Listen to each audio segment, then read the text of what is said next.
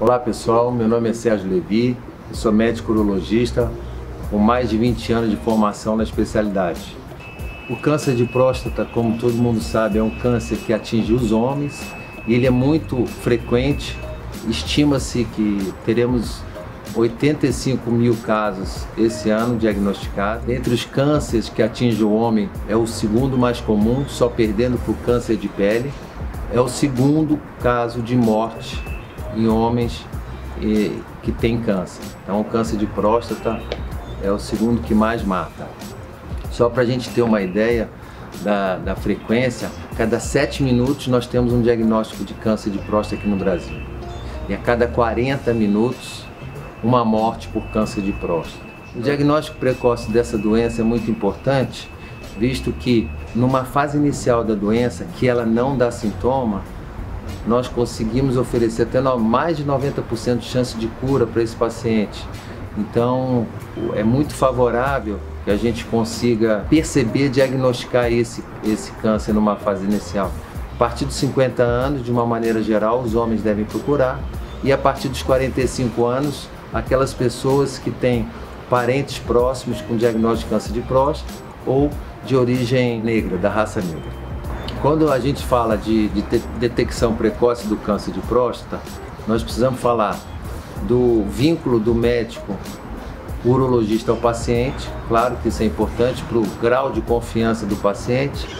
Precisamos falar do exame físico, que é o toque retal, que é uma, é uma dificuldade, isso é uma barreira, ainda é uma barreira, mas que com a conversa, com, com o esclarecimento da importância, isso acaba é, facilitando que seja realizado.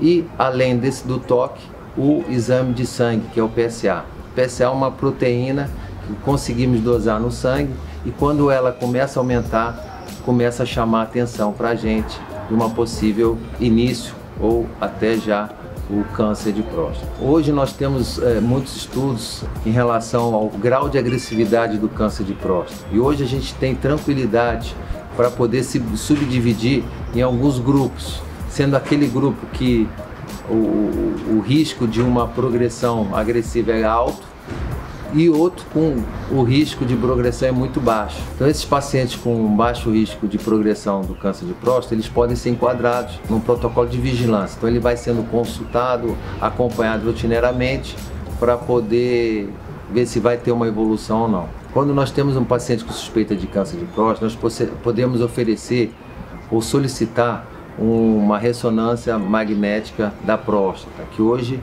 tem sido muito utilizado para a gente poder detectar nódulos que não são perceptíveis ou que têm algumas características em relação à, à chance de malignidade. Então, através da ressonância, a gente consegue direcionar esses pacientes para uma biópsia.